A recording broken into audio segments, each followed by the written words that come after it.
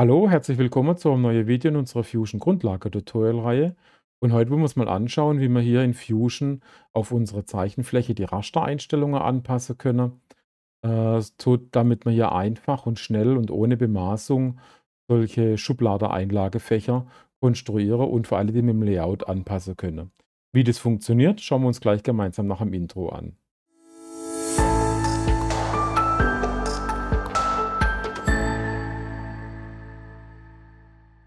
So, machen wir mal eine neue Konstruktion. Und damit wir äh, noch hier die Anpassungen durchführen können, mache ich mal kurz hier die Raster- und Fangobjekte oder Objektfänge auf.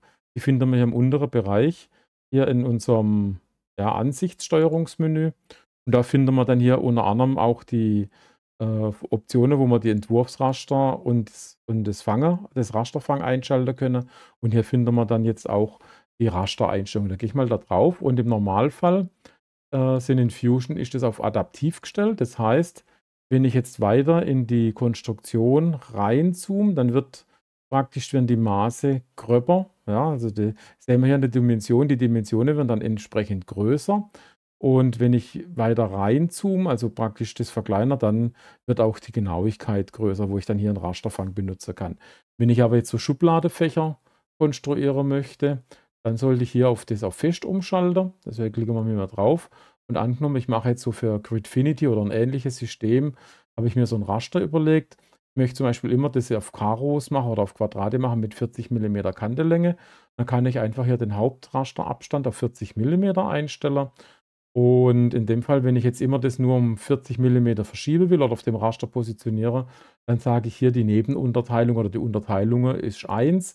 Wenn ich zum Beispiel hier die 2 eintrage, dann äh, haben wir die 40er oder das 40er Rastermaß auf insgesamt vier Unterquadrante aufgeteilt. Das heißt, ich habe hier dann immer einen Fangpunkt bei 20 mm. So kann ich das entsprechend einstellen. So, mir langt jetzt mal hier das mit der 1 und dann fangen wir mal hier an, eine neue Konstruktion zu machen auf der Draufsicht. So, und ich erstelle mal hier einfach zwei, drei Rechtecke. Und dann machen wir hier zum Beispiel mal so eine Abteilung für L und hier machen wir mal noch einen kleiner. Hier nochmal ein großer. So, und jetzt habe ich hier schnell mein Layout mal gezeichnet. Gehen wir aus der Skizze raus, wähle Extrudiere aus und dann können wir einfach hier mal das auf 40 nach oben schieben, dass wir da auch in dem Raster bleiben.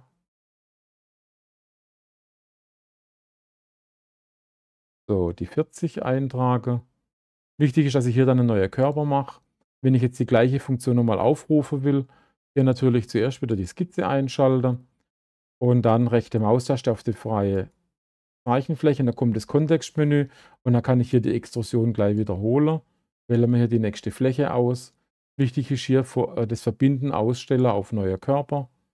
Machen wir mal hier auch die 40 mm rein. Und das nächste wieder Extrusion und hier sagen neuer Körper.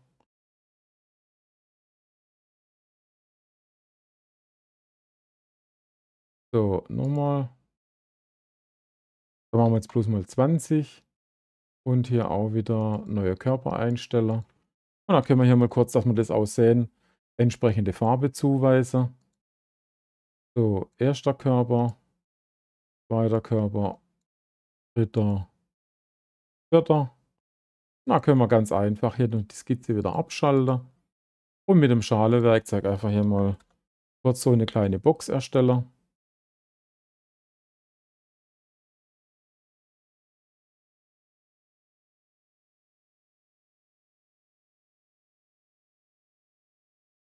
So, dann haben wir hier entsprechend unsere Boxer. Wenn wir die jetzt natürlich verschieben wollen, dann sollte die natürlich hier auch entsprechend auf dem Raster ähm, ablegbar sein. Und dazu gehen wir hier wieder in unseren Objektfang rein, gehen hier auf die Inkremente festlegen und die sind jetzt im Augenblick auch adaptiv. Das heißt, je weiter ich reinzoome, äh, desto genauer wird es. Ich möchte aber das hier alles im 40, äh, in dem 40 mm Raster haben.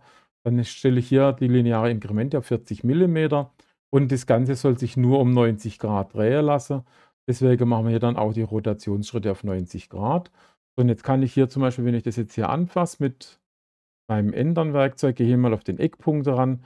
Und jetzt kann ich es über die Pfeiltaste entsprechend verschieben. und hier dann nachher entsprechend auch rotiere. Und dann sehen wir, dass sich das hier gleich automatisch auf die 90 einrastet. Und jetzt kann ich das hier entsprechend neu positionieren, so wie ich das brauche.